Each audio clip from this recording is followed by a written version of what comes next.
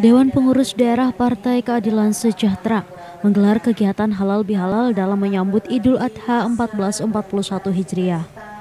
Kegiatan dilaksanakan di kantor DPD PKS Tabalong pada Minggu 2 Agustus 2020.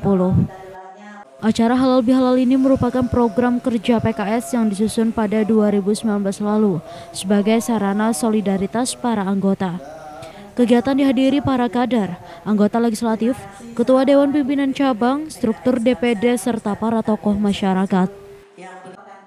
Ketua DPD PKS Tabalong Sumiati mengatakan, selain berkurban, DPD PKS juga menggelar kegiatan halal bihalal menyambut Idul Adha 1441 Hijriah.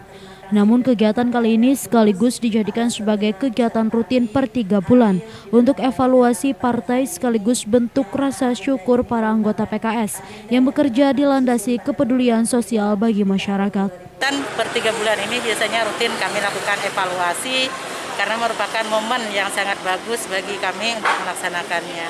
Di tahun ini Alhamdulillah PKS melaksanakan ibadah korban yang uh, lumayan banyak dari tahun kemarin hingga hal ini patut kami syukuri.